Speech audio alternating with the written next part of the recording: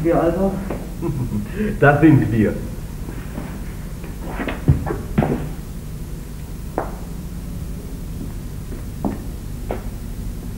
So ist das. So ist das. Ich nehme an, dass man sich auf Dauer an die Möbel gewöhnen soll. Oh, das kommt ganz auf die Leute an. Sind alle Zimmer so? Ja, wo denken Sie hin? Zu uns kommen Chinesen, Inder. Was sollen die mit einem Empire-Sofa anfangen? Und ich? Was soll ich damit anfangen? Wissen Sie überhaupt, wer ich war? Naja, das macht das schon. Schließlich habe ich immer mit Möbeln gelebt, die ich nicht mochte. Trotzdem, das hätte ich nicht erwartet. Ich nehme an, Sie wissen, was man da unten erzählt. Worüber? Über das alles. Ja, ja, sagen Sie, glauben Sie etwa an diesen Blödsinn? Ja, von Leuten, die nie ihren Fuß hierher gesetzt haben, denn schließlich, wenn sie hierher gekommen wären,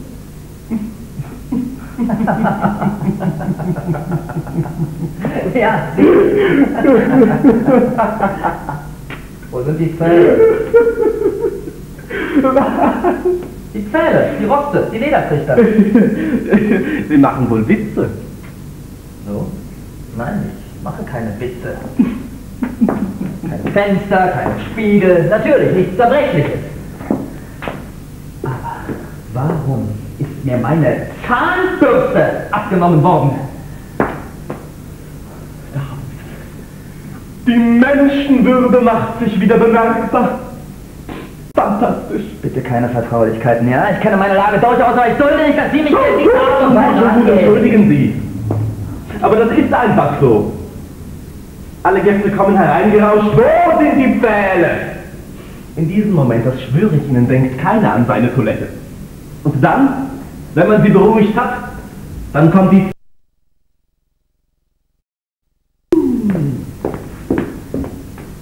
Ja, richtig. Wozu? Und wo sollte man sich im Spiegel sehen? Die Bronzefigur. Das ist natürlich was völlig anderes. Ich kann mir vorstellen, dass ich sie in bestimmten Augenblicken mit aufgerissenen Augen anstarren werde. Soll ich Ihnen erzählen, wie sich das abspielt? Man erstickt. Man geht unter, man ertrinkt. Nur die Augen. Die Augen bleiben über dem Wasser. Und was sehen Sie? Eine Barbedienne-Figur. Was für ein Albtraum.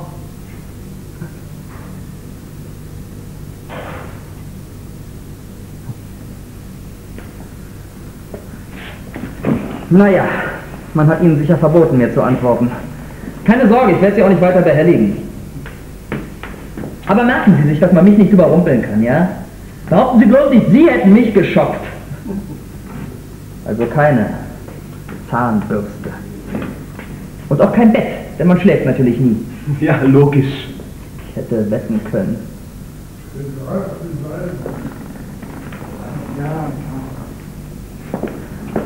Wozu auch schlafen?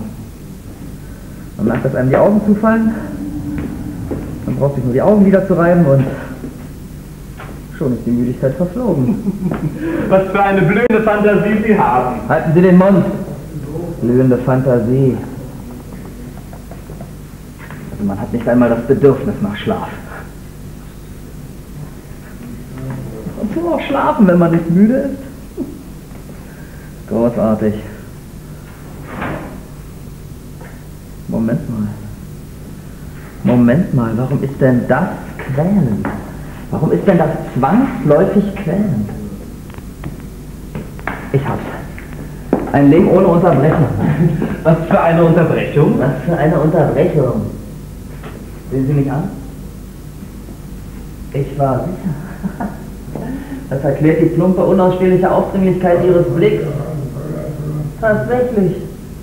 Sie sind gelähmt. Wovon sprechen Sie? Von Ihren Augenlidern. Wir nämlich machen die Augen auf und zu. Zwinkern nennt man das. Ein kleiner schwarzer Blitzvorhang, Zuvorhang auf. Das war die Unterbrechung. Sie können sich gar nicht vorstellen, wie erholsam das war. 4000 Pausen in einer Stunde, 4000 kleine Fluchten. Und jetzt? Ich werde also ohne Augenlider reden. Ja, dann sehen Sie mich doch nicht so dämlich an! Ohne Augenlider, ohne Schlaf, das ist doch dasselbe. Ich werde nicht mehr schlafen können. Wie soll ich mich dann ertragen? Da unten gab es Nächte. Ich schlief.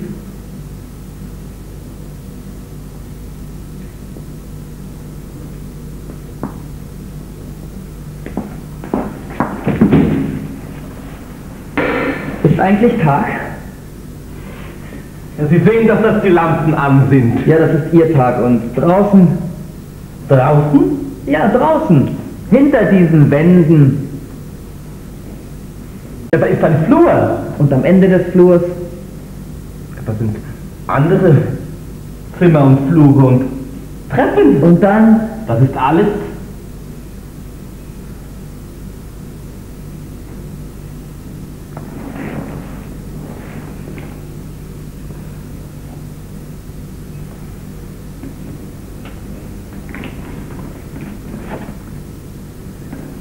Sie werden doch sicher mal einen freien Tag haben. Gehen Sie dann hin, Zu meinem Onkel, der Oberkellner ist im dritten Stock. das hätte ich mir denken können. Wo ist der Schalter? Es gibt keinen.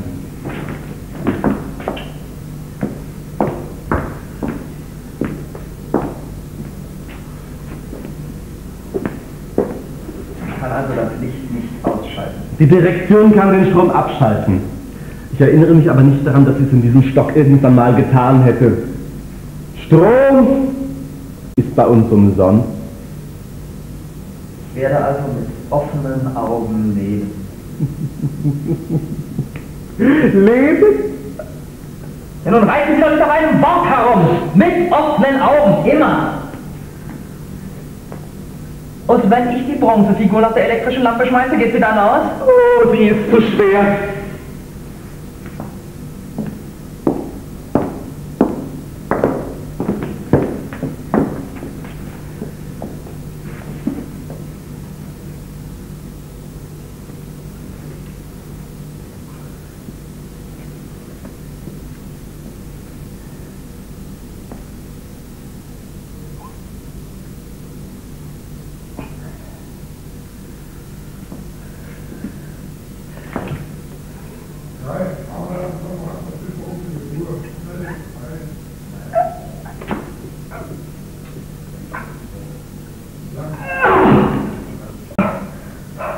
Sie haben recht.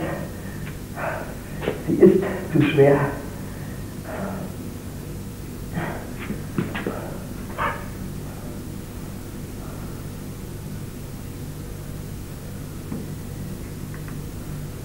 Also wenn Sie mich dann nicht mehr brauchen, lasse ich Sie jetzt allein. Sie gehen? Gut. Auf Wiedersehen. Äh, Halt! Ist das deine Klingel? Kann ich nach Ihnen läuten, wenn ich will, und Sie müssen dann kommen? Im Prinzip ja, aber sie hat ihre Mucken. Irgendetwas klemmt in ihrem Mechanismus.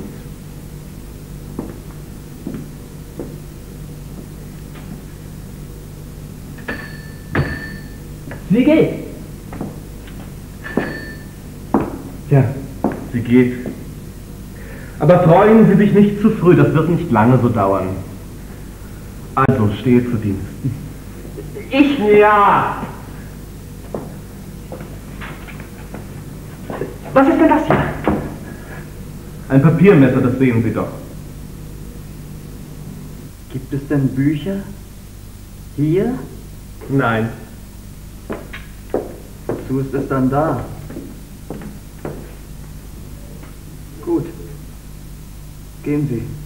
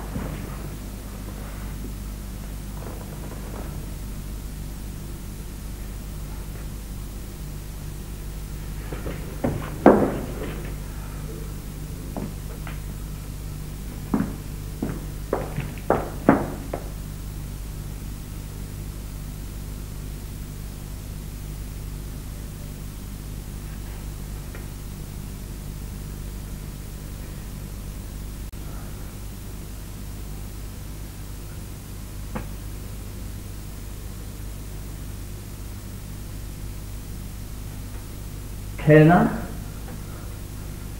Kellner! Kellner! Kellner!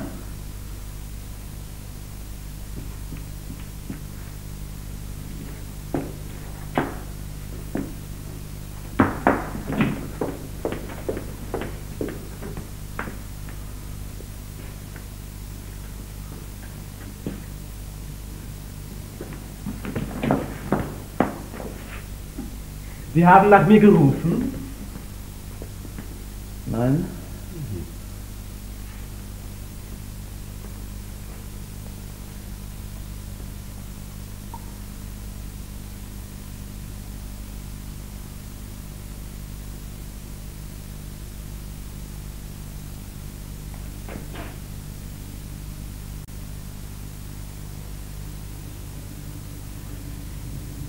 Das ist Ihr Zimmer, meine Dame.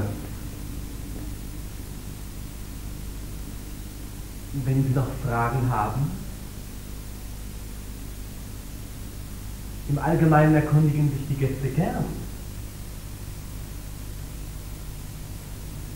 Nun gut, ich möchte nicht aufdringlich erscheinen. Was im Übrigen die Klingel, die Barbigentigur und die Zahnbürste angeht, so ist der Herr im Bilde und kann Ihnen ebenso gut Auskunft geben wie ich. Wo ist Florence? Wie bitte? Ich frage Sie, wo Florence ist. Keine Ahnung. Mehr ist Ihnen nicht eingefallen? Folter durch Trennung, Gurt, das zieht nicht. Florence war eine dumme Gans und ich traue ihr nicht nach. Pardon. Für wen halten Sie mich? Sie? Sie sind der Folterknecht.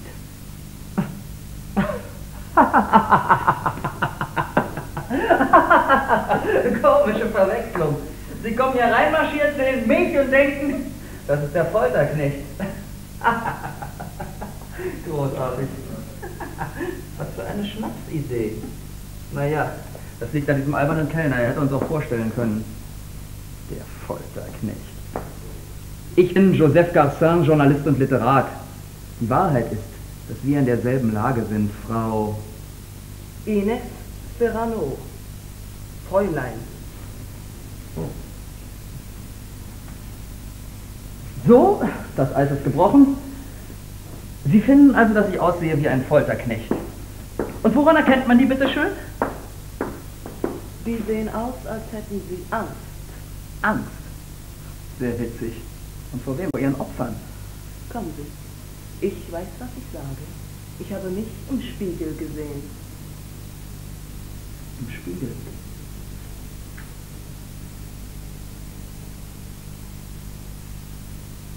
Jedenfalls kann ich Ihnen versichern, dass ich keine Angst habe. Ich kenne meine Lage, ich nehme sie nicht leicht, aber ich habe keine Angst. Das ist Ihre Sache.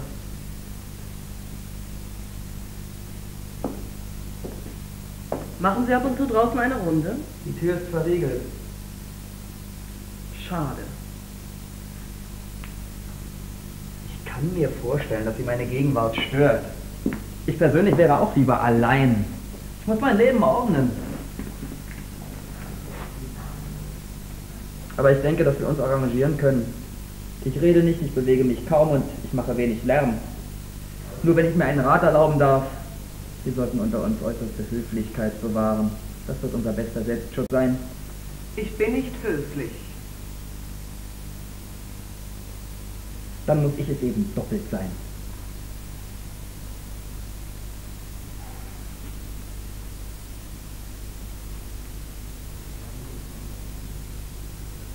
Ihr Mund. Was? Können Sie Ihren Mund nicht stillhalten? Er bewegt sich unter Ihrer Nase wie ein Kreisel. Oh, Verzeihung, das habe ich nicht gemerkt. Das finde ich ja gerade so schlimm an Ihnen. Schon wieder! Sie wollen höflich sein und Sie haben nicht mal Ihr Gesicht unter Kontrolle. Sie sind nicht allein und Sie haben kein Recht, mich mit dem Anblick Ihrer Angst zu belästigen.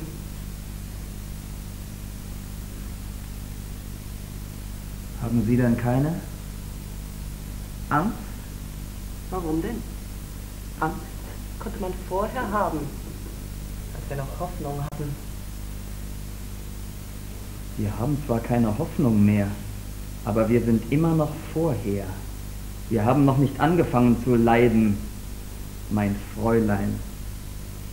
Ich weiß. Also, was wird kommen? Ich weiß nicht. Ich warte.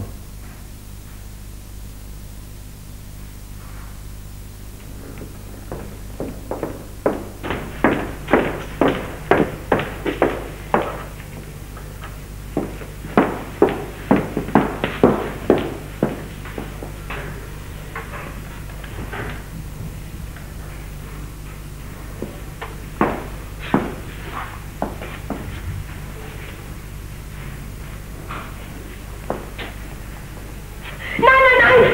Heb nicht den Kopf! Ich weiß, was du mit den Händen versteckst! Ich weiß, dass du kein Gesicht mehr hast!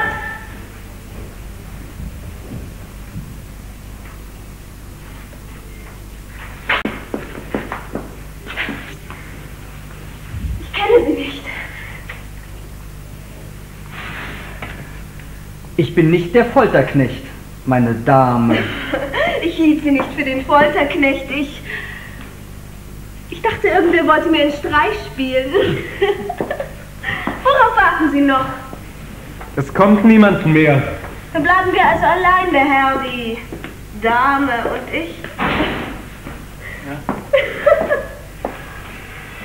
oh nein. Was gibt's denn da zu lachen? Aber diese Sofas sind so hässlich. Und sehen Sie nur, wie sie aufgestellt sind. Jeder hat sein eigenes, nehme ich an. Das hier ist meins. Aber ich werde mich nie draufsetzen können. Das ist eine Katastrophe. Ich bin in Bordeaux rot und es ist in Lindgrün. Wollen Sie meins haben? Das hellblaue Sofa? So liebenswürdig, aber das wäre kaum besser. Nein, nein. Ich habe das Grüne, ich behalte es.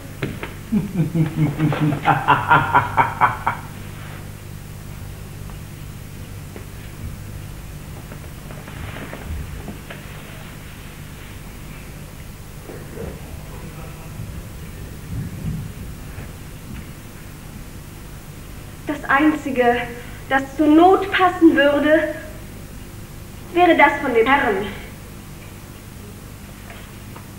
Haben Sie gehört, Garçon? Was?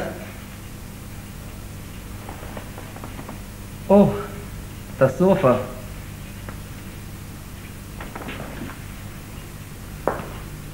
Es gehört Ihnen. Danke.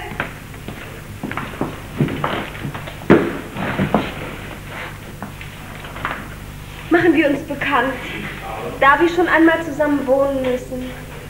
Ich bin Estelle Rigaud. Ines Serrano. Sehr erfreut. Joseph Garcin.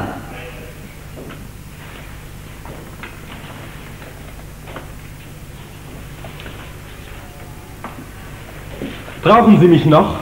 Nein, nein, gehen Sie, ich werde nach Ihnen klingeln.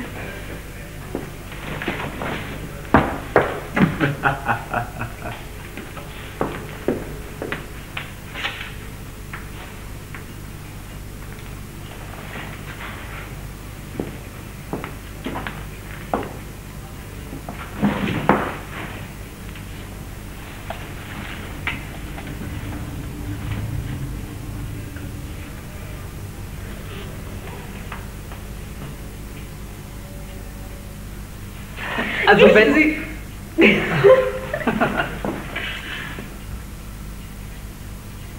Und dann...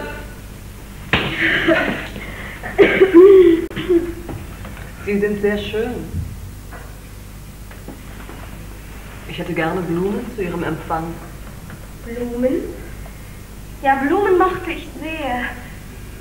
Hier würden sie verwelkt, es ist zu heiß. Naja, die Hauptsache ist, dass man die gute Laune nicht verliert, nicht wahr?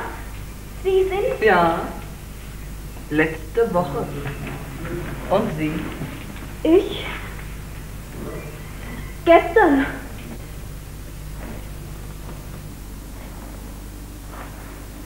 Die Trauerfeier ist noch nicht zu Ende. Der Wind bringt den Schleier meiner Schwester in Unordnung. Sie bemüht sich krampfhaft zu weinen. Los, los! Na endlich, zwei Tränen, zwei kleine Tränen, die unter dem Trauerflor glitzern. Oh, Olga Jarre ist heute Vormittag sehr hässlich. Sie hakt meine Schwester unter. Sie weint nicht wegen der Wimperntusche und ich muss sagen, an ihrer Stelle.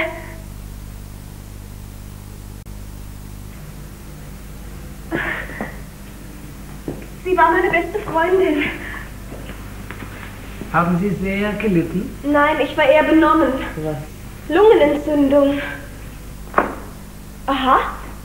Es ist soweit, Sie gehen. Guten Tag, guten Tag. Allgemeines Händeschütteln. Mein Mann ist krank vor Kummer. Er ist zu Hause geblieben.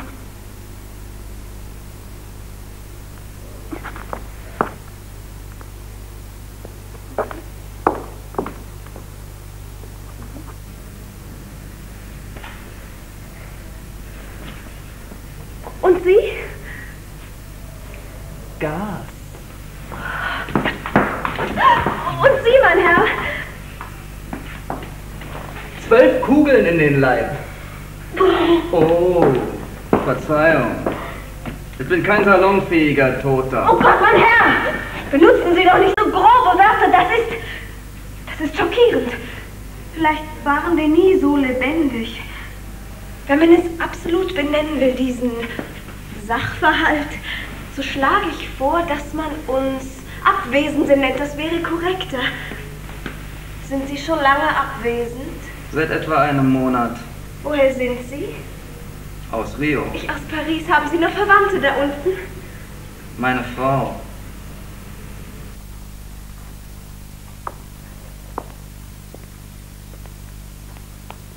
Jeden Tag ist sie zur Kaserne gekommen. Man hat sie nicht reingelassen, sie sieht durch die Gitterstäbe. Sie weiß noch nicht, dass ich abwesend bin. Aber sie ahnt es. Sie ist ganz in Schwarz. Naja, da braucht sie sich wenigstens nicht umzuziehen. Jetzt geht sie. Sie weint nicht. Sie würde nie weinen. Es ist herrlicher Sonnenschein und sie geht ganz in Schwarz auf der leeren Straße mit ihren großen Opferaugen. Sie geht mir auf die Nerven.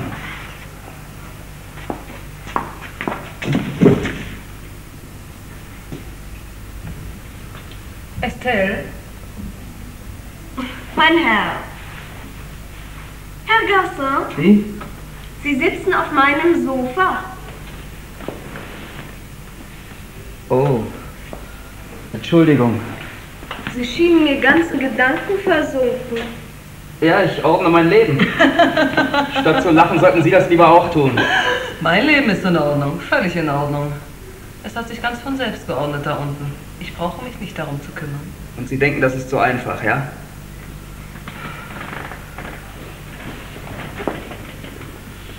Was für eine Hitze.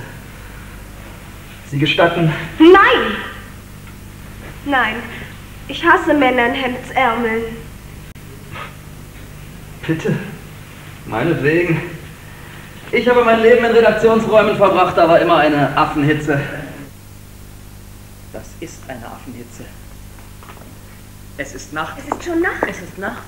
Sie haben ihre Jacken über die Stuhllehnen gehängt Olga zieht sich aus. Sie haben die Tür zu meinem Zimmer und ihre Hemdsärmel bis über die Ellenbogen Wie hochgekrempelt. schnell die Zeit vergeht. versiegelt. Es riecht nach Männern und Zigarren. Und das Zimmer ist leer im Dunkeln. Auf der Erde.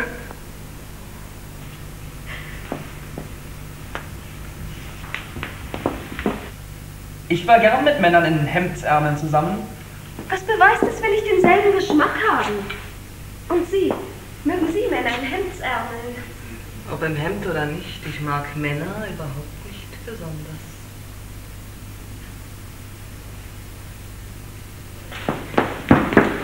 Aber warum? Warum hat man uns zusammengebracht? Was? Was sagen Sie da? Ich sehe Sie alle beide an und denke, dass wir zusammenbleiben werden. Ich erwartete, Freunde, Familie wiederzufinden. Einen ausgezeichneten Freund mit einem Loch mitten im Gesicht. Den auch. Er konnte Tango wie ein Berufstänzer. Aber warum hat man uns zusammengebracht? Tja, reiner Zufall. Die stecken halt die Leute zusammen, wie sie gerade ankommen. Warum lachen Sie? Weil Sie mir Spaß machen mit Ihrem Zufall. Haben Sie es derart nötig, sich zu beruhigen? Hier ist nichts dem Zufall überlassen. Aber wir haben uns vielleicht früher schon einmal gesehen. Nie und nimmer Sie hätte ich nicht vergessen. Oder wir haben gemeinsame Bekannte. Kennen Sie nicht die Dubois Seymour? Das wäre mir neu. Sie empfangen Gott und die Welt. Was machen Sie denn? Sie machen nichts. Sie haben ein Schloss in der Corrèze. Ich war Postangestellte. So. Na dann. Und Sie? Ich bin nie aus Rio rausgekommen. Wenn das so ist, haben Sie allerdings völlig recht. Der Zufall hat uns zusammengebracht. Der Zufall. Diese Möbel sind aus Zufall da. Aus Zufall ist das rechte Sofa grün und das linke Sofa rot. Aus Zufall, nicht wahr? Na, dann versuchen Sie doch mal, sie umzustellen und Sie werden schon sehen. Und die Bronzefigur ist auch aus Zufall da. Und diese Hitze. Sage Ihnen, das ist alles genau festgelegt worden, bis in alle Einzelheiten. Mit Liebe. Dieses Zimmer wartete auf uns. Dann ist alles Absicht. Alles. Und wir sind genau ausgesucht worden. Es ist kein Zufall, dass Sie ausgerechnet gegenüber sitzen. Aber worauf wartet man hier? Ich weiß nicht, aber man wartet. Das ist unerträglich. Sie beide soll mir irgendetwas zustoßen. Durch Sie beide. Ich kannte Gesichter, die mir sofort etwas sagten. Und Ihre sagen mir gar nichts. Also, warum sind wir zusammen? Sie haben schon so viel gesagt, jetzt sagen Sie alles. Aber ich habe absolut keine Ahnung. Aber wir müssen dahinter kommen. Wenn wenigstens jeder von uns den Mut hätte zu sagen, Was?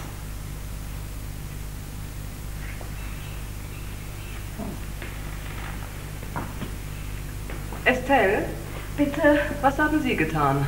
Warum hat man Sie hierher gebracht? Aber ich sage Ihnen doch, dass ich keine Ahnung habe. Ich frage mich sogar, ob das nicht ein Versehen ist. Lachen Sie doch nicht so. Denken Sie doch an die Menge der Leute, die jeden Tag zu Abwesenden werden. Sie kommen zu Tausenden hierher und haben es nur mit Subalternen, mit ahnungslosen Angestellten zu tun. Wie soll es dann nicht zu Versehen kommen? Lachen Sie doch nicht so. Und Sie, sagen Sie doch was. Wenn man sich in meinem Fall geirrt hat, kann man sich auch in Ihrem geirrt haben. Und auch in Ihrem. Ist es nicht besser zu glauben, wir sind aus Versehen hier. Ist das alles, was Sie uns zu sagen haben? Was wollen Sie denn noch wissen? Ich habe nichts zu verheimlichen.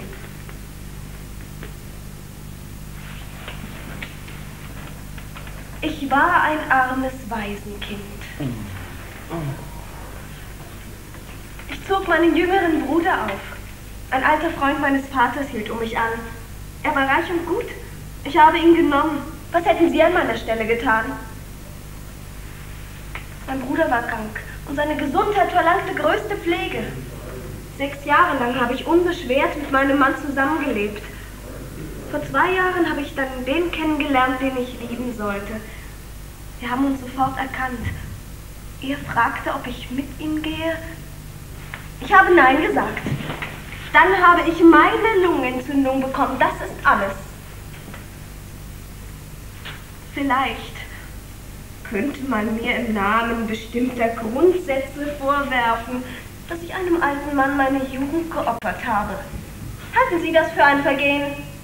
Ganz sicher nicht. Und Sie? Halten Sie es für ein Vergehen, wenn man nach seinen Grundsätzen lebt? Wer wollte Ihnen das vorwerfen? Passen Sie auf. Ich gab eine pazifistische Zeitung heraus. Da bricht der Krieg los. Alle richteten sie ihre Augen auf mich. Soll das wagen? Nun, ich habe es gewagt. Ich habe nicht mitgemacht und Sie haben mich erschossen. Wo ist das Vergehen? Ich frage Sie, wo ist da ein Vergehen? Das ist kein Vergehen, Sie sind ein! Ein Herz! Und Ihre Frau, Garcin? Ja, was denn? Ich habe sie aus der Gosse gezogen. Sehen Sie, sehen Sie! Ich sehe. Für wen spielen Sie denn diese Komödie? Wir sind doch unter uns. Unter uns. Unter Mörder. Wir sind in der Hölle, meine Kleine. Es kommt nie ein Versehen vor und die Leute werden niemals für nichts verdammt. Seien Sie still! Verdammt. Verstecken Sie Verdammt. sich! Nein! Verdammt, die kleine, heilige, verdammt, der untadelige Held. Wir haben unseren Spaß gehabt, nicht wahr? Es gibt Leute, die unseretwegen bis zu ihrem Tode gelitten haben und das gefiel uns. Jetzt müssen wir böse. Wollen Sie wohl still sein? Hey. Hat? Jetzt verstehe ich. Ich weiß, warum man uns zusammengebracht hat. Erlegen Sie genau, was Sie sagen. Es gibt keine körperliche Folter, nicht wahr? Und doch sind wir in der Hölle und niemand darf kommen, niemand. Wir werden bis zum Ende alleine zusammen sein. Ist es das? Kurz, fehlt hier jemand. Der Folterknecht. Ja, ja, ich weiß. Ganz kleine Personaleinsparung. Das ist alles. Die Kunden machen die Arbeit alleine. Was wollen Sie damit sagen? Der Folterknecht ist jeder von uns für die beiden anderen.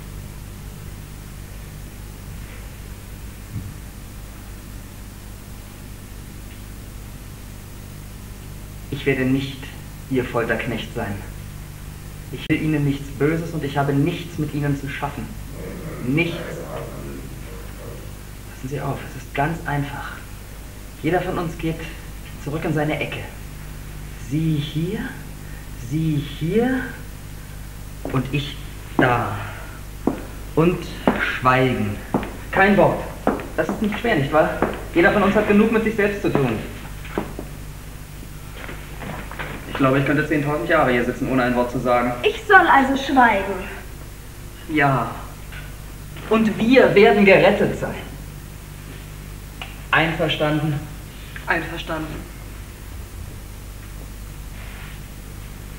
Einverstanden. Also, adieu.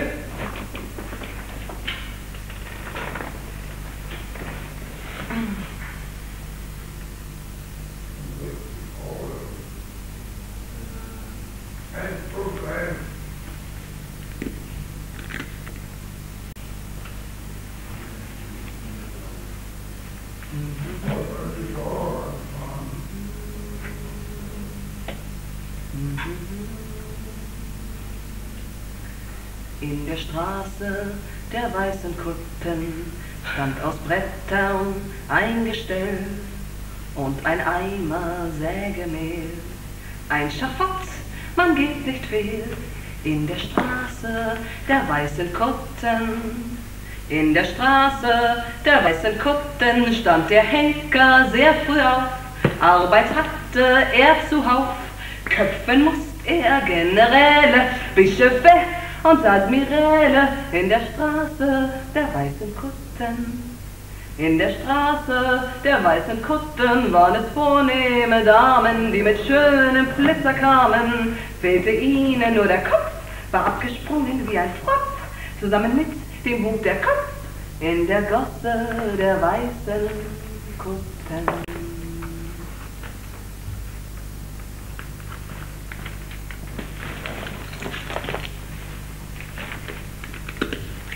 Mein Herr, mein Herr, haben Sie einen Spiegel? Einen Spiegel, einen Taschenspiegel, irgendwas? Wenn Sie mich schon allein lassen, dann besorgen Sie mir doch wenigstens einen Spiegel. Ich habe einen Spiegel in meiner Tasche. Ich habe ihn nicht mehr. Sie müssen ihn mir in der Kanzlei abgenommen haben. Wie ärgerlich. Was haben Sie? Mir ist so komisch. Geht Ihnen das nicht auch so? Wenn ich mich nicht sehe, kann ich mich noch so sehr betasten. Ich frage mich, ob ich eigentlich existiere. Sie haben Glück. Ich fühle mich immer von innen her. Von innen her. Ah ja. In meinem Schlafzimmer sind sechs große Spiegel. Ich sehe sie. Ich sehe sie. Aber sie sehen mich nicht. Es ist ein Spiegel, in dem ich nicht bin.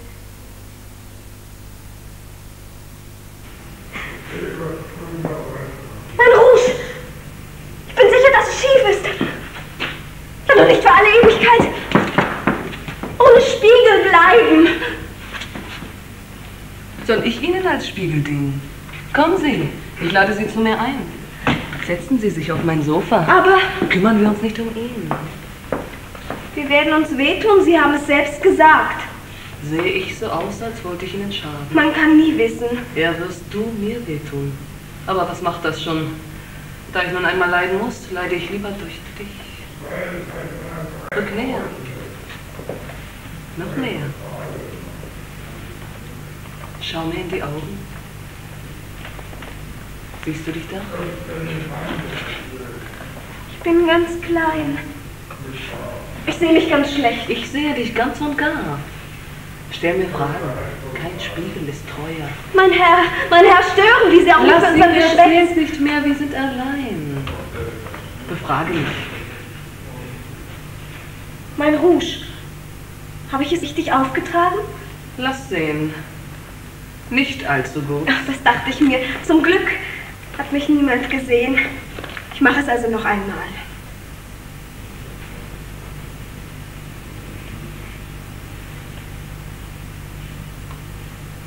So ist es besser. Nein! Zieh die Linie der Lippen nach. Ich werde deine Hand führen.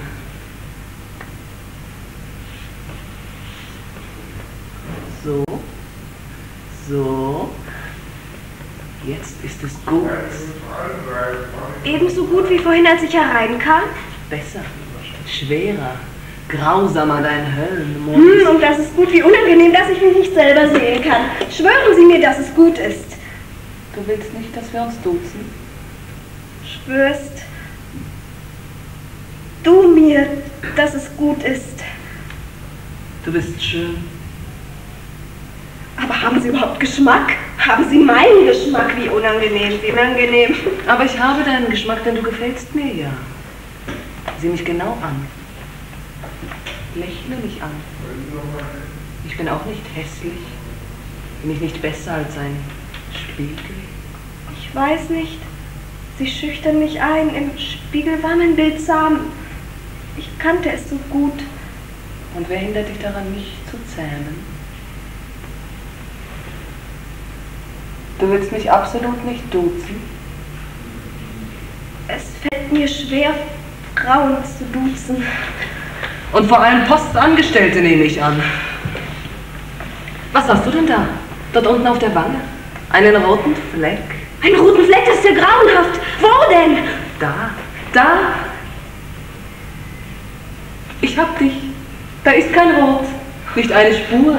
Na, wenn der Spiegel nun zu lügen anfinge, oder wenn ich die Augen zumachte, wenn ich mich weigerte, dich anzusehen, was machtest du mit der ganzen Schönheit? Keine Angst. Ich muss dich ja ansehen. Meine Augen bleiben weit offen. Und ich werde nett sein. Sehr, sehr nett. Aber du musst du zu mir sagen.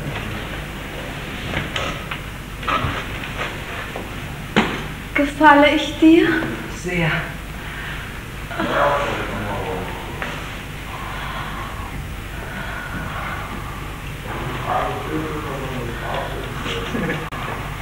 Ich möchte, dass er mich auch ansieht.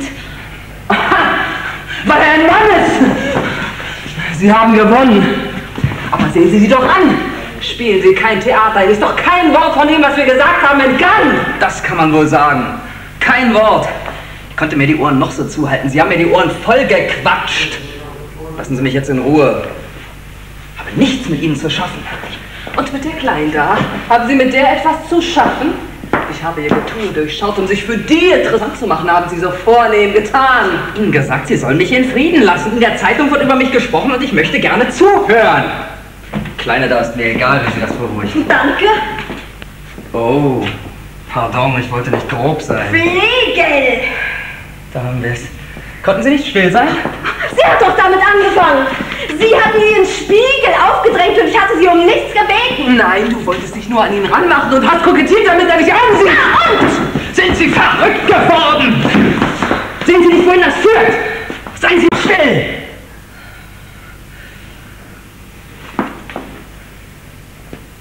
Wir werden jetzt ganz ruhig zurück auf unseren Platz gehen. Wir werden die Augen schließen und jeder wird versuchen, die Anwesenheit des anderen zu vergessen.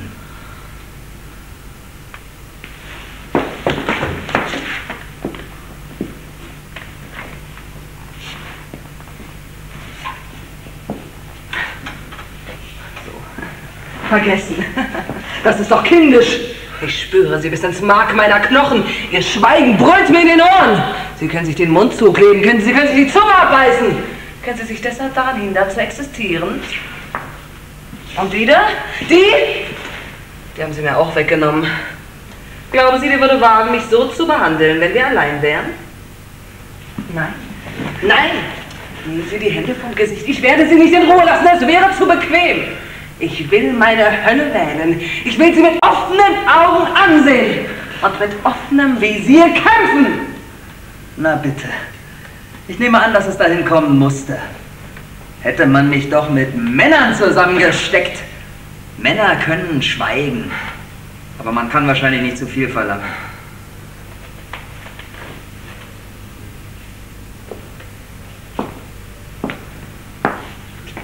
Na, Kleine?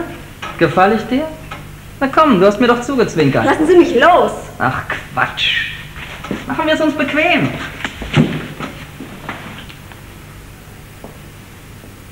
Ich habe Frauen geliebt, weißt du? Und sie haben mich auch geliebt. Du machst dir doch bequem. Wir haben nichts mehr zu verlieren. Höflichkeit, wozu? Formen, wozu? Hier unter uns.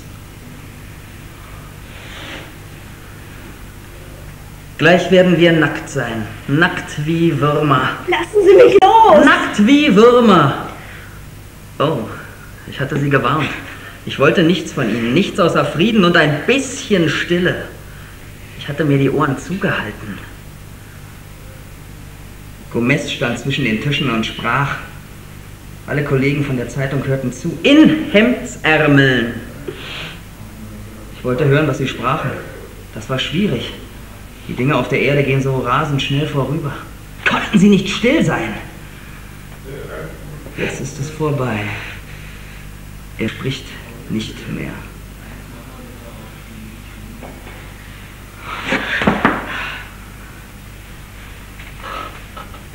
Gut. Wir werden bis zum Ende gehen müssen. Nackt wie Würmer. Ich will wissen, mit wem ich es zu tun habe. Sie wissen es. Jetzt wissen Sie es. Solange nicht jeder von uns gestanden hat, weshalb er verurteilt wurde, wissen wir nichts. Du, Blonde, fang an. Sag uns warum. Na komm, sag uns warum. Aber ich sage doch, dass ich keine Ahnung habe. Man hat es mir nicht mitteilen wollen. Ja, ich weiß. Mir hat man auch nichts sagen wollen, aber ich kenne mich. Ah, du hast Angst, als Erste zu sprechen. Na schön.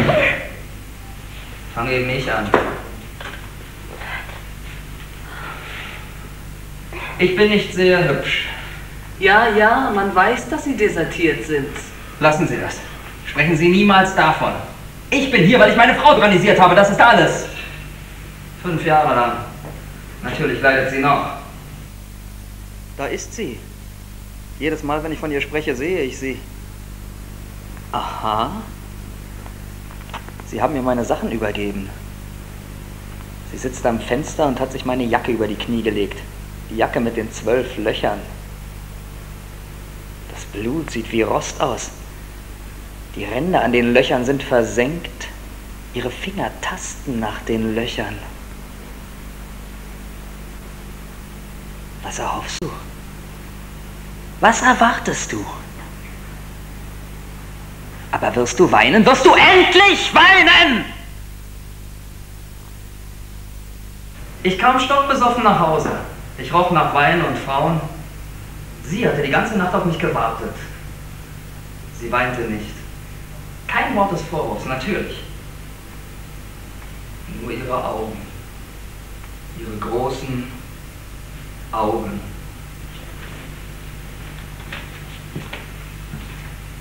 Warum haben Sie ihr wehgetan? Weil das so einfach war.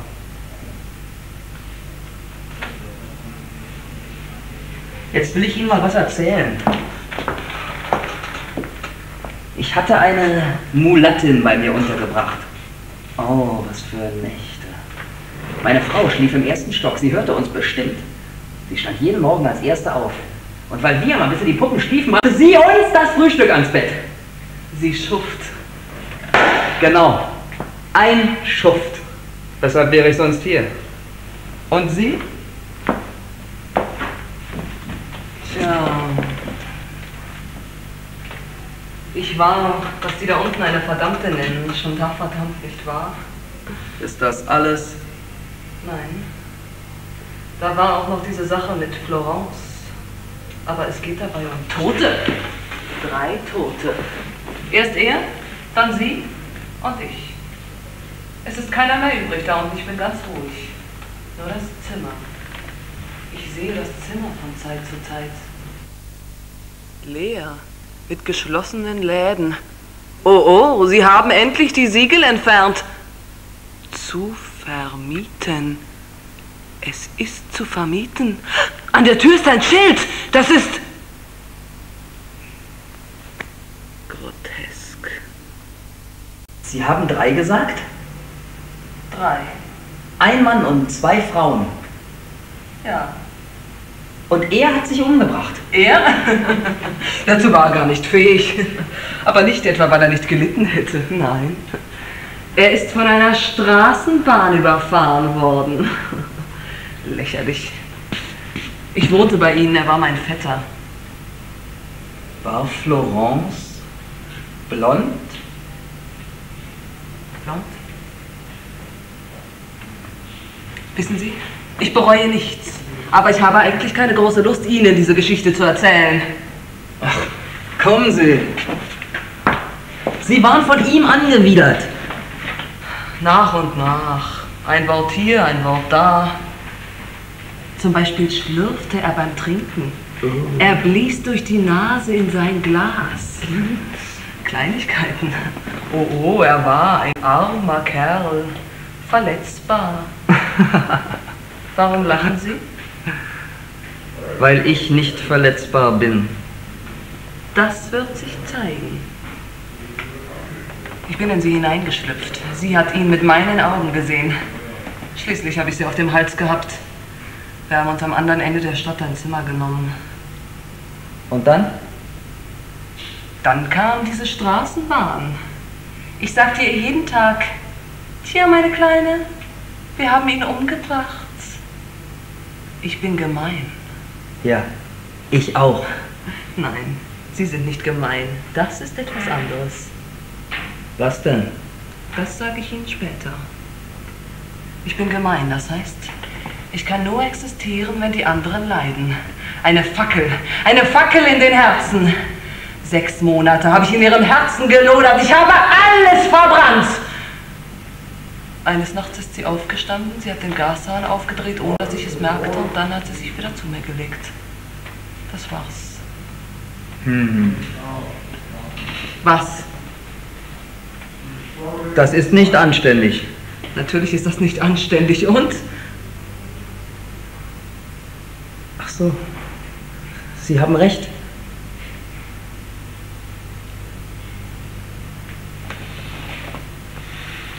Und du? Was hast du getan? Äh, ich sag doch, dass ich keine Ahnung habe. Ich kann mir noch so sehr den Kopf zerbrechen. Gut, wir helfen dir.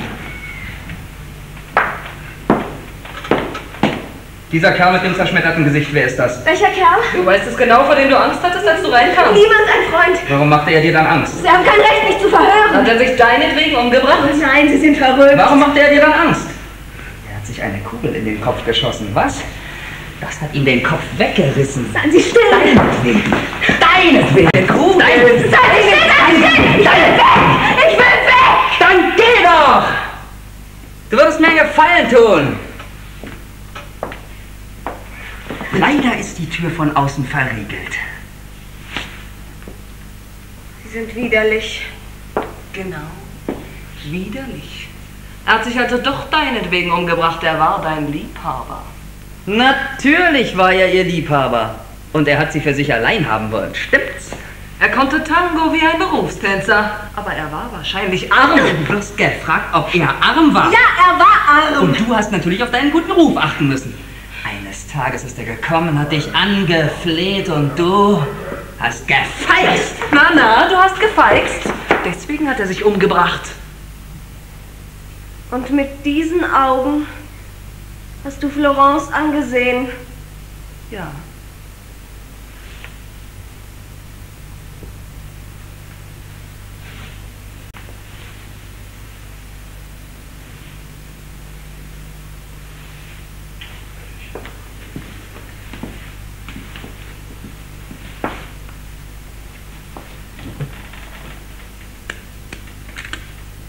Sie sind Holzweg. Er wollte mir ein Kind machen, so sind Sie nun zufrieden? Und du wolltest nicht? Nein. Das Kind ist trotzdem gekommen. Ich habe sechs Monate in der Schweiz verbracht. Niemand hat etwas gewusst. Es war ein Mädchen. Roger war bei mir, als es geboren wurde. Er war froh, eine Tochter zu haben. Ich nicht. Und dann? Da war ein Balkon über einem See. Ich habe einen großen Stein geholt. Er schrie, Estelle, ich flehe dich an, ich bitte dich, ich hasste ihn. Er hat alles gesehen. Er hat sich über den Balkon gebeugt und er hat die Ringe auf dem Wasser gesehen.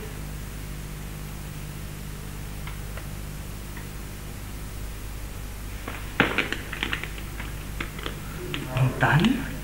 Ist alles. Ich bin nach Paris zurückgefahren, er hat gemacht, was er wollte. Er hat sich eine Kugel in den Kopf geschossen. Ja, eben, das war überhaupt nicht nötig. Mein Mann hat nie etwas erfahren.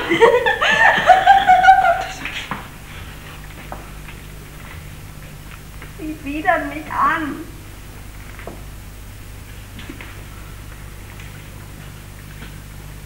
Armes Ding. Die Untersuchung ist abgeschlossen. Sie können diese Folterknechtsfresser ablegen. Folterknecht? Ich gebe alles darum, mich jetzt im Spiegel sehen zu können.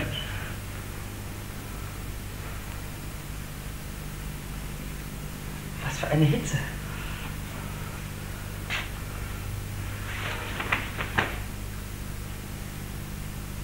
Oh, Verzeihung. Sie ruhig in Hemdsärmeln bleiben. Jetzt.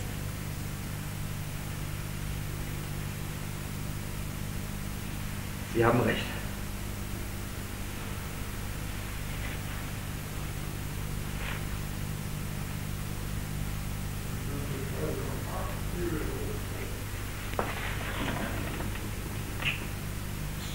Estelle, du darfst mir nicht böse sein. Ich bin Ihnen nicht böse. Und mir? Bist du mir böse? Ja.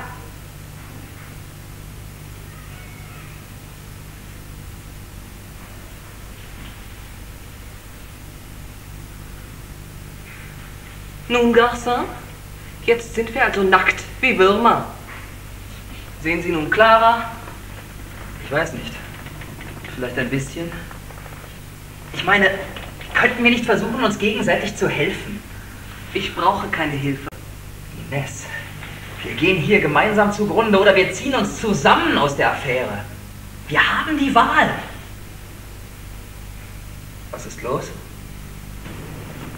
Sie haben es vermietet. Die Fenster stehen weit offen. Ein Mann sitzt auf meinem Bett. Sie haben es vermietet. Herein, herein! Tun Sie sich keinen Zwang an! Es ist eine Frau. Sie geht auf ihn zu und legt ihm die Hände auf die Schultern. Warum machen Sie kein Licht an? Ich kann Sie nicht mehr sehen. Küssen Sie sich? Dieses Zimmer gehört mir. Es gehört mir. Und warum machen Sie kein Licht an? Ich kann Sie nicht mehr sehen. Was tuscheln Sie? Wird er Sie auf meinem Bett streicheln? Aus. Nichts mehr.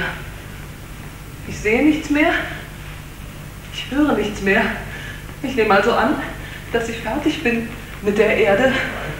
Kein Alibi mehr. Ich fühle mich leer. Jetzt bin ich ganz und gar tot. Ganz und gar. Hier. Was sagten Sie?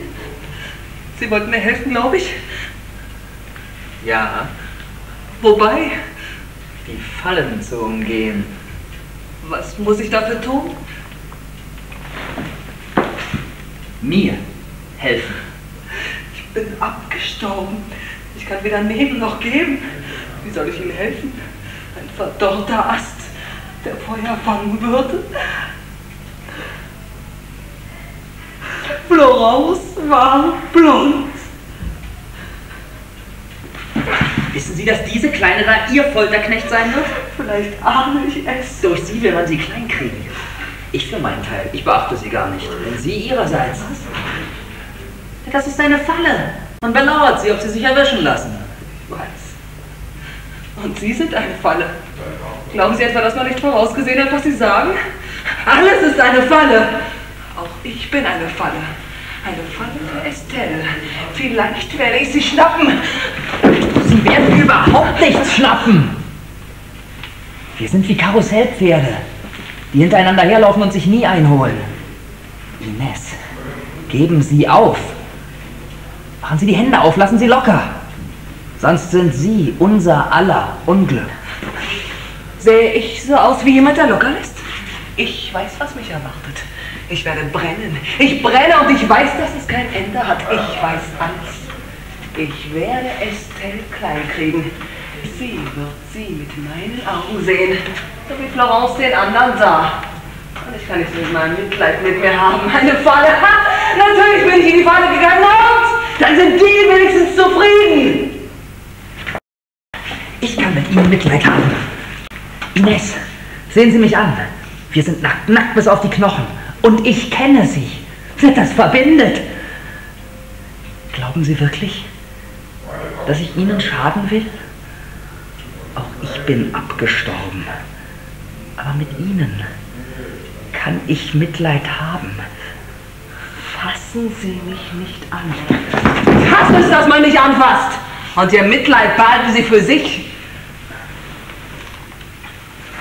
Machen Sie sich nichts vor, Garçon.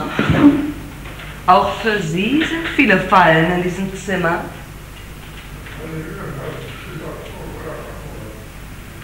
Wenn Sie uns völlig in Ruhe lassen, die Kleine und mich, werde ich mich bemühen, Ihnen nicht zu schaden.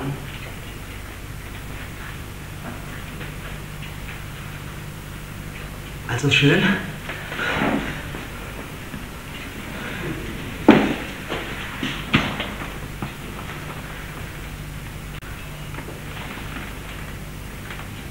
Hilfe! Garçon, Was wollen Sie von mir? mir können Sie helfen. Wenden Sie sich doch an Sie. Garçon, Sie haben es versprochen, Sie haben es versprochen. Schnell, schnell, ich will nicht alleine bleiben. Sie ist mit dem Tanzen gegangen. Mit wem? Mit Pierre. Sie tanzen zusammen.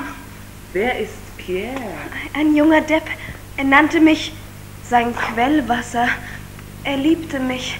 Du liebst, Sie tanzen zusammen. du liebst ihn? Sie setzen sich wieder. Sie ist außer Atem. Warum tanzt sie außer um abzunehmen? Natürlich nicht. Natürlich liebte ich ihn nicht. Erst 18. Und ich fresse doch keine Kinder. Na dann lass sie doch. Was kann dir das ausmachen? Er gehörte mir. Nichts gehörte mehr auf der Erde. Er gehörte mir. Ja, er gehörte. Versuch ihn doch zu nehmen. Versuch ihn anzufassen. Olga kann ihn anfassen, nicht wahr? Nicht wahr? Sie kann seine Hände halten, seine Knie berühren. Sie streckt ihm ihren riesigen Busen hin. Sie atmet ihm ins Gesicht. Ein Blick von mir und sie hätte niemals gewagt. Bin ich denn wirklich nichts mehr? Und es gibt nichts mehr von dir auf der Erde. Alles, was dir gehört, ist hier. Willst du das Papiermesser haben? Die Barbedienne-Figur? Das rote Sofa gehört dir. Und ich, meine Kleine, ich gehöre dir für immer. Mir! Wer von Ihnen beiden würde es denn wagen, mich sein Quellwasser zu nennen? Sie kann man nicht täuschen. Sie wissen, dass ich ein Miststück bin. Denk an mich, Pierre. Denk nur an mich. Solange du denkst, mein Quellwasser, mein süßes Quellwasser, bin ich nur halb hier, bin ich nur halb schuldig. Sie ist rot wie eine Tomate. Das ist wirklich unmöglich. Hundertmal haben wir zusammen über sie gelacht. Oh, was ist das für eine Melodie? Ich mochte sie sehr.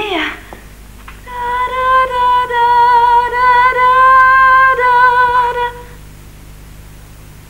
Los, tanzt, tanzt. Sie wird niemals wissen, dass ich sie sehe. Ich sehe dich. Ich sehe, dass du ihm auf die Füße trittst. Das ist ja zum Totlachen. Los, schneller, schneller. Er zieht sie, er stößt sie. Das ist unanständig. Los, schneller, schneller.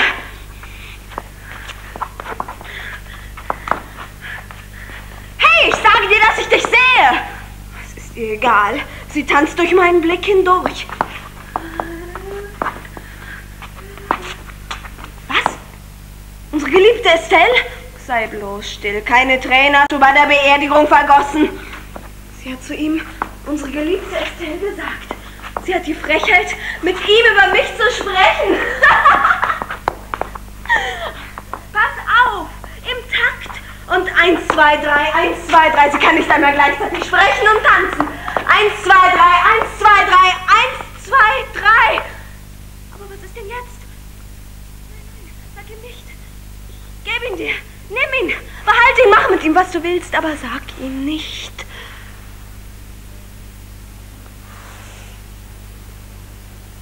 Gut.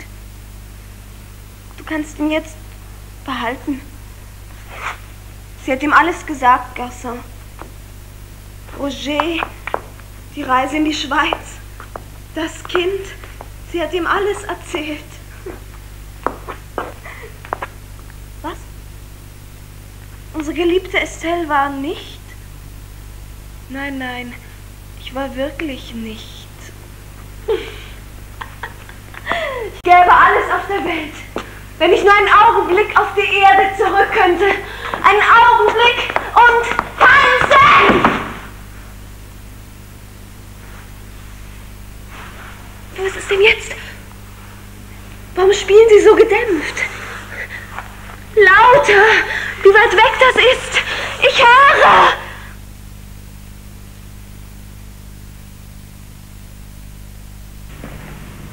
Überhaupt nicht mehr. Nie mehr. Die Erde hat mich verlassen. Gaston, sieh mich an. Nimm mich in die Arme. Garçon! Wenden Sie sich an sie. Gaston, gehen Sie nicht weg.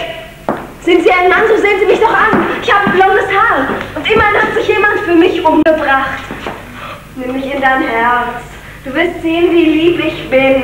Gesagt, Sie sollen sich an sie. Aber sie zählt doch nicht, sie ist eine Frau. Ich zähle nicht. Aber Vögelchen, ich werde dich pausenlos ansehen, ohne zu blinzeln. Du wirst in meinem Blick leben wie ein Goldkörnchen in einem In Sonnenstrahl. einem Sonnenstrahl. Hier lassen Sie mich gefälligst in Frieden. Sie haben es eben schon versucht und Sie haben gesehen, dass es nicht geklappt hat. Estelle, mein Ihr Quellwasser. Kommen Sie. Jeder weiß, dass ich das Kind aus dem Fenster geschmissen habe. Komm, kannst sein, was du willst. Quellwasser, Wegwasser. Du wirst dich am Grund meiner Augen so wiederfinden, wie du sein Lassen Sie willst. mich los! Sie haben keine Augen! Was muss ich denn noch machen, damit du mich loslässt? Das!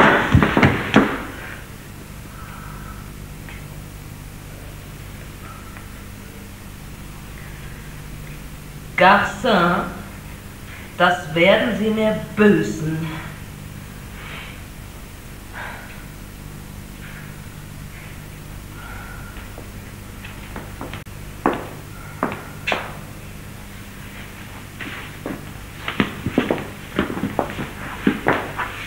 So, du brauchst also einen Mann. Einen Mann? Nein, dich. Ach was, das könnte jeder sein. Ich bin zufällig da, also bin ich es. Ich habe nichts, was dir gefallen könnte. Ich bin kein junger Depp und ich tanze nicht Tango. Ich nehme dich, wie du bist. Ich werde dich vielleicht verändern. Das bezweifle ich. Ich werde mich auf mein Sofa setzen. Und ich werde warten, bis du dich mit mir beschäftigst. Du Hündin! Und er ist nicht mal schön! Nicht auf sie. Sie zählt nicht. Ich werde dir geben, was ich kann. Das ist nicht viel. Ich werde dich nicht lieben. Ich kenne dich zu genau. Begehrst du mich? Ja, Mehr will ich nicht.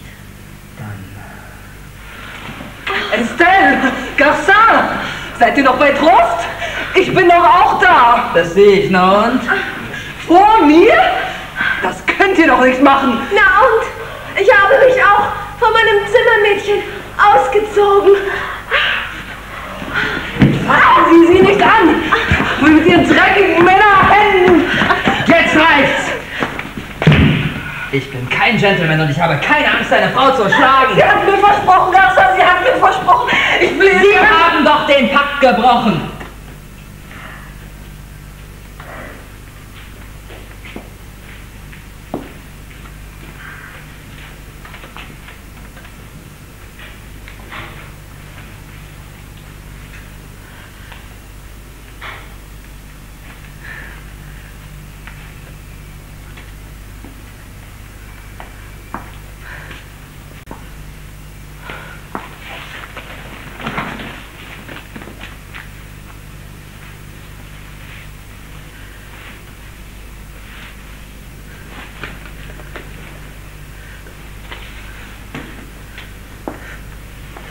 Gut, macht was ihr wollt. Seid die Stärkeren. Aber denkt dran, ich bin auch da und ich beobachte euch. Ich lasse euch nicht aus den Augen, Garçon. Sie müssen sie vor meinen Augen küssen. Wie ich euch alle beide hasse. Liebt euch, liebt euch. Wir sind in der Hölle und ich werde auch schon dran kommen.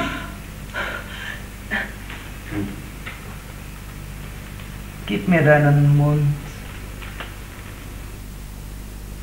Hey, ich habe gesagt, du sollst sie nicht beachten.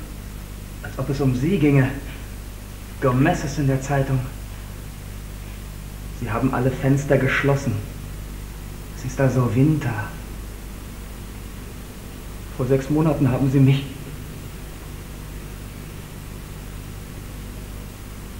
Sie schlottern. Sie haben ihre Jacken anbehalten. Komisch, dass die da unten so frieren und ich schwitze so. Dauert das noch lange? Nichts. Er sagt nichts. Er ist ein Schwein.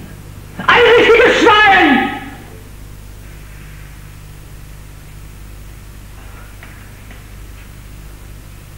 Naja, was macht das schon? Kommen wir zu uns. Wirst du mich lieben? Wer weiß. Wirst du mir vertrauen? Komische Frage. Ich werde dich ständig vor Augen haben und mit Ines wirst du mich sicher nicht betrügen. Ganz sicher nicht. Ich meinte ein anderes Vertrauen. Estelle, du musst mir dein Vertrauen schenken. Oh, was für ein Umstand. Aber du hast doch meinen Mund, meine Arme, meinen ganzen Körper und alles könnte so einfach sein. Mein Vertrauen. Du gehst mir gewaltig auf die Nerven. Du musst dir Schlimmes angestellt haben, dass du mich um dein Vertrauen bittest. Sie haben mich erschossen. Ich weiß, du hattest dich geweigert einzurücken. Na und? Ich, ich hatte mich nicht ganz geweigert, weißt du? Er spricht gut. Seine Verurteilung ist gerechtfertigt. Aber er sagt nicht, was zu tun ist. Hätte ich vielleicht zum General gehen sollen und ihm sagen, General, tut mir leid, ich rücke nicht ein? Blödsinn. Die hätten mich eingelocht. Ich habe den Zug genommen und an der Grenze haben sie mich geschnappt. Wo wolltest du denn hin? Nach Mexiko. Ich wollte da eine pazifistische Zeitung herausbringen. Sag doch was. Was soll ich denn sagen? Du hast richtig gehandelt, weil du nicht kämpfen wolltest. Ach, Liebling, ich habe doch keine Ahnung, was ich dir antworten soll. Mein Schatz, man muss ihm sagen, dass er geflohen ist wie ein Löwe. Denn er ist geflohen, dein großer Liebling. Das ist es, was ihn wurmt. Geflohen, abgehauen.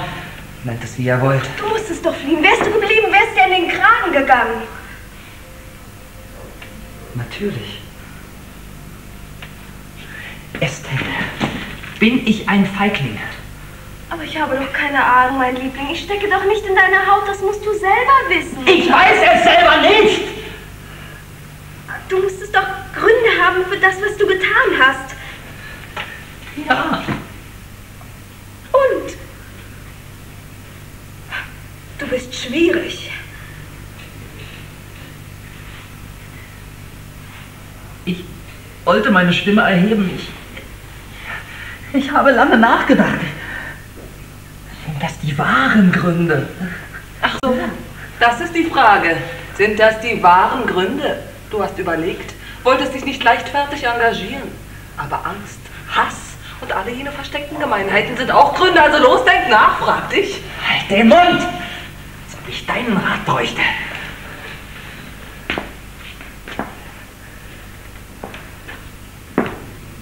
Kommt mir vor, als ob ich mein ganzes Leben damit verbracht hätte, mich zu erforschen. Und dann war plötzlich die Tat da. Ich habe den Zug genommen, das ist sicher. Aber warum? Warum? Ich dachte, schließlich würde mein Tod entscheiden. Wenn ich anständig sterbe, habe ich bewiesen, dass ich kein Feigling bin. Und? Wie bist du gestorben, Garcin? Nicht gut.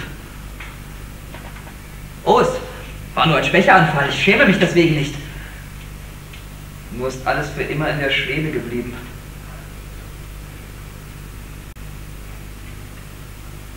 Sag doch was. Sieh mich an. Ich brauche jemanden, der mich ansieht, während Sie auf der Erde über mich sprechen. Ich mag grüne Augen. Grüne Augen, na sowas. Und du, Estelle? Magst du Feiglinge? Wenn du wüsstest, wie egal mir das ist. Ob Feigling oder nicht, Hauptsache er küsst gut. Sie sagen, Garcin ist ein Feigling. Das ist es also, was Sie beschlossen haben. Sie, meine Kollegen. In zehn Monaten werden Sie sagen, feige wie Garcin. Ihr habt Glück, ihr beiden. Keiner denkt mehr auf der Erde an euch. Ich habe ein härteres Leben. Und ihre Frau, Garcin? Ja, was denn? Sie ist tot. Tot? Ich habe auch vergessen, es Ihnen zu erzählen. Sie ist vorhin gestorben, vor etwa zwei Monaten. Vor Kummer. Natürlich vor Kummer, woran denn sonst? Es ist alles bestens. Der Krieg ist aus. Meine Frau ist tot. Ich bin in die Geschichte eingegangen.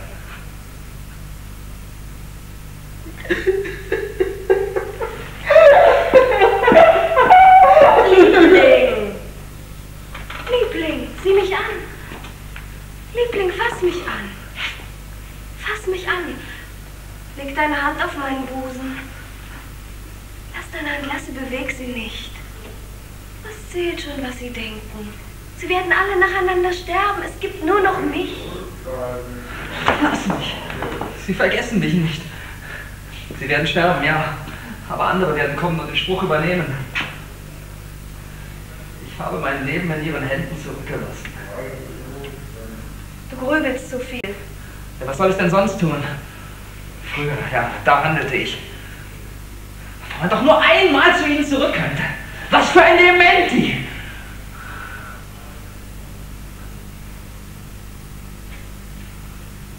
Aber ich bin aus dem Spiel.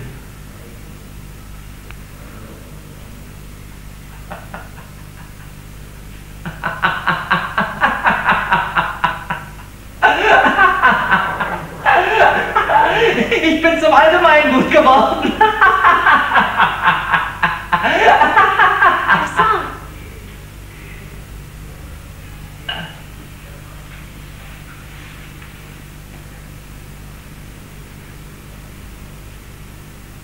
Du bist da.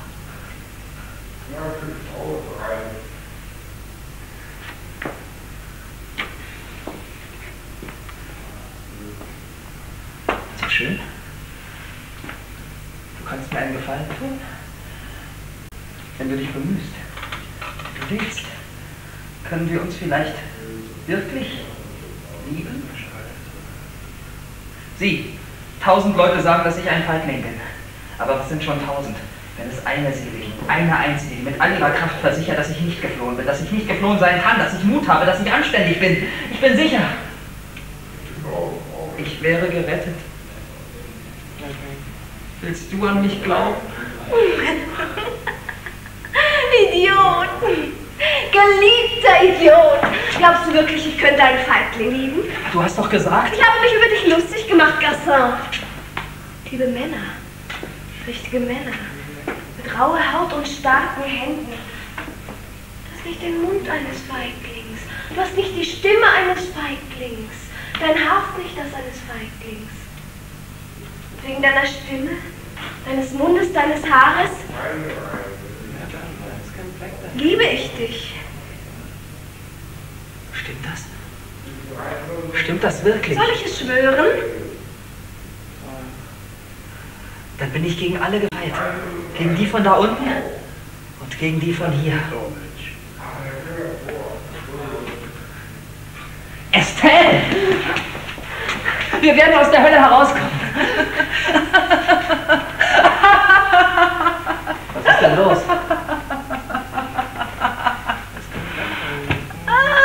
Aber sie glaubt doch kein Wort von dem, was sie sagt. Wie kannst du denn so naiv sein? Bin ich ein Feigling? Wenn du wüsstest, wie egal dir das ist. Ines, hör dich doch sie. Wenn du mein Vertrauen willst, musst du mir zuerst deines schenken. Aber ja, vertraue ihr doch, vertraue ihr. Sie braucht einen Mann, das kannst du glauben. Sie würde dir auch sagen, dass du Gott Vater bist, wenn dir das Spaß macht. das wahr? Estelle, antworte. Ist das wahr? Was soll ich denn sagen? Ich verstehe nichts von dem ganzen Zeug. Mir ist alles auf die Nerven. Selbst wenn du ein Feigling wärst, würde ich dich lieben. So, genügt dir das nicht? Ihr widert mich an.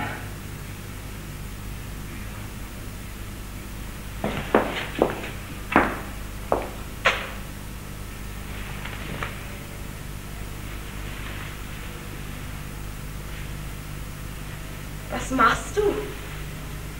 Ich gehe. Du wirst nicht weit kommen, die Tür ist zu. Oh, Sie werden schon aufmachen müssen. Ach so. Keine Angst, die Tür ist kaputt. Ich sag's euch. Sie werden aufmachen.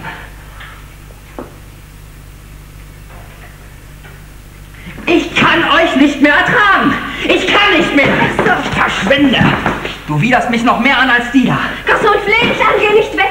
Ich werde dich völlig in Ruhe lassen. Ich werde nicht mehr mit dir sprechen, aber geh nicht weg. Ines hat ihre Krallen gezeigt. Und ich will nicht mit ihr alleine bleiben. Das ist deine Sache. Ich habe dich nicht gebeten zu kommen.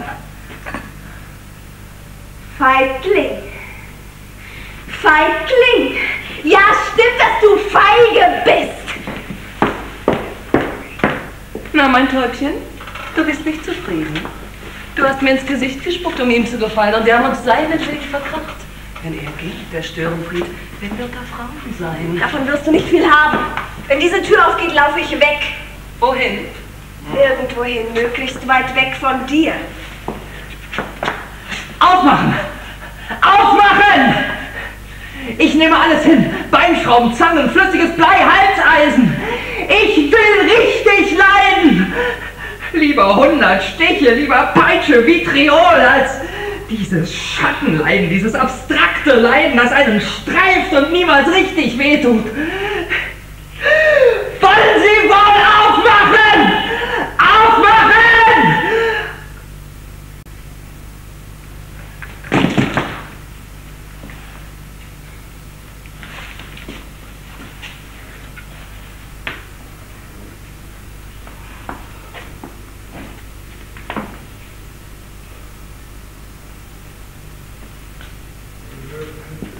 Garça, gehen Sie doch. Ich frage mich, warum diese Tür aufgegangen ist. Worauf warten Sie? Gehen Sie schnell.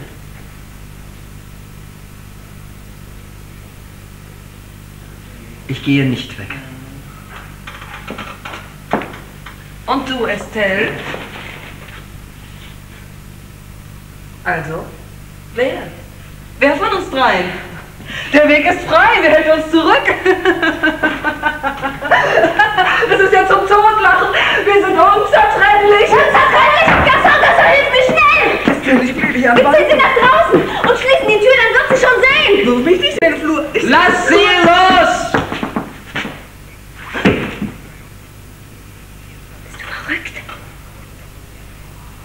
Sie hasst dich.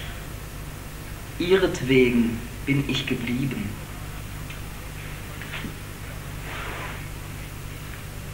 Meinetwegen.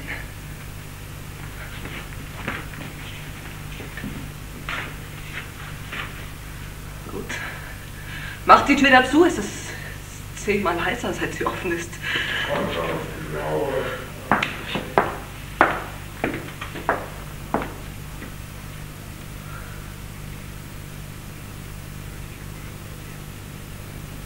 Meinetwegen. Ja. Du weißt, was ein Feigling ist. Ja, das weiß ich. Du weißt, was das Böse ist. Die Schande, die Angst. Es hat Tage gegeben, da hast du dir tief ins Herz gesehen. Ja. Du kennst den Preis des Bösen. Und wenn du sagst, dass ich ein Feigling bin, dann weißt du, wovon du sprichst. Ja, Dich muss ich also überzeugen. Du bist von meiner Art. Hast du wirklich geglaubt, ich würde weggehen? Nein, ich konnte dich nicht hier lassen, triumphierend, mit all diesen Gedanken im Kopf, all diesen Gedanken, die mich betreffen. Du willst mich wirklich überzeugen? Was bleibt mir übrig? Ich höre sie nicht mehr, weißt du? Die Angelegenheit ist also abgeschlossen. Ich bin nichts mehr auf der Erde. Nicht mal mehr ein Feigling. Ines, jetzt sind wir allein. Nur ihr zwei könnt noch an mich denken. Sie zählt nicht. Aber du, du, die mich hasst, wenn du an mich glaubst, dann rettest du mich. Das wird nicht leicht sein. Hör zu. Mir waren Geld und Liebe egal. Ich wollte ein Mann sein, ein harter. Lässt sich ein Leben nach einer einzigen Tat beurteilen. Warum nicht? Du hast 30 Jahre geträumt, dass du Mut hättest. Und dann, in der Stunde der Gefahr, hat man dir die Pistole auf die Brust gesetzt und du bist nach Mexiko gefahren. Man ist, was man will. Beweis es. Nur Taten entscheiden über das, was man gewollt hat. Ich bin zu früh gestorben. Man hat mir keine Zeit gelassen, meine Taten auszuführen. Man stirbt immer zu früh oder zu spät. Du bist nichts anderes als dein Leben. Schlange. Du hast auf alles eine Antwort. Komm, komm, verlier nicht den Mut. Es sollte dir leicht fallen, mich zu überzeugen. Such nach Argumenten. Streng dich an. Na? Na? Ich hatte dir gesagt, dass du verletzbar bist. Oh, wie du jetzt büßen wirst. Du bist ein Feigling, Jasse, ein Feigling, hörst du? Weil ich es so will. Ah, sie öffnen sich, diese großen Männerhände. Aber was erhoffst du denn? Gedanken lassen sich mit Händen nicht fangen. Komm, du hast keine Wahl. Du musst mich überzeugen. Ich halte dich gefangen. Garçon, Was? räche dich. Wie? Küss mich, du wirst sie jaulen hören. Das stimmt. Tatsächlich. Ines, du hältst mich gefangen. Ja, aber ich dich auch.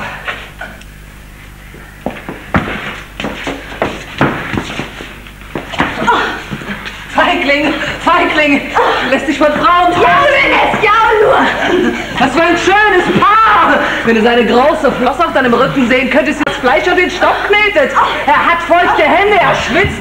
Er wird einen Abdruck auf deinem Kleid hinterlassen. Jaul nur, drück mich stärker an mich. Aber ja, drück sie, drück sie stärker. Vermischtere Körperwärme. Das ist etwas Schönes, die Liebe nicht Gasser, das ist mild und tief wie der Schlaf. Aber ich werde dich am Schlafen hindern. Hör nicht auf sie in meinen Mund. Ich gehöre ganz dir. Hallo, worauf wartest du? Tu, was man dir sagt. Garcin, der Feigling, Omar Destel, die Kindesmörderin. Worum wollen wir bitten? Wird Garcin, der Feigling, sie küssen? Ich sehe euch. Ich sehe euch. Feigling, Feigling, Feigling, Feigling, Feigling. Was suchst du auf ihren Lippen? Das vergessen? Aber ich werde dich nicht vergessen. Mich musst du überzeugen. Mich komm her, komm. Ich warte auf dich. Du siehst dir, er lockert seine Umarmung. Er gehorcht wie ein Hund. Du wirst sie nicht kriegen.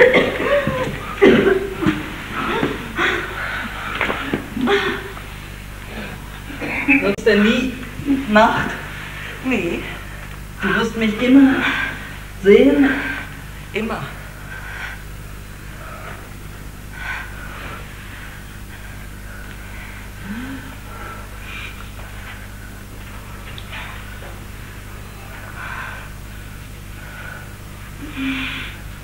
Die Bronzefigur. Tja, das ist der Moment. Die Bronzefigur. Ich betrachte sie und ich begreife, dass ich in der Hölle bin. Ich sage euch, alles war vorgesehen. Sie hatten vorgesehen, dass ich vor diesem Podest stehen, meine Hand auf diese Bronzefigur drücken würde. Vor all diesen auf mich gerichteten Blicken.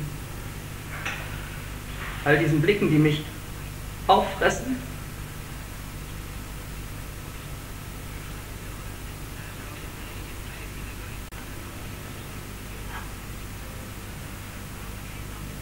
Ihr seid nur zwei?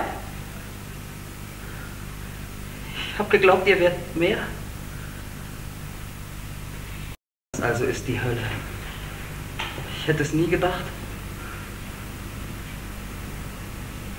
Wisst ihr noch? Schwefel, Scheiterhaufen, Roste.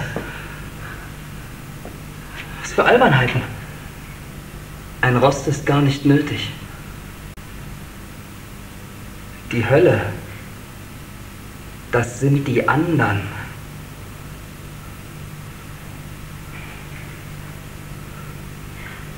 Liebling, Lass mich.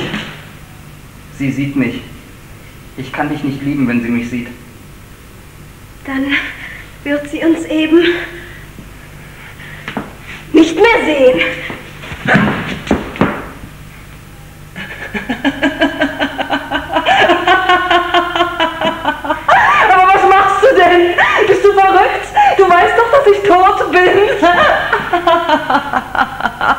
Tot? Tot! Tot! Tot! Weder Messer noch Gift noch Strick. Es ist schon geschehen, verstehst du? Und wir sind für immer zusammen. Mein Gott, ist das komisch! Wie immer! Immer.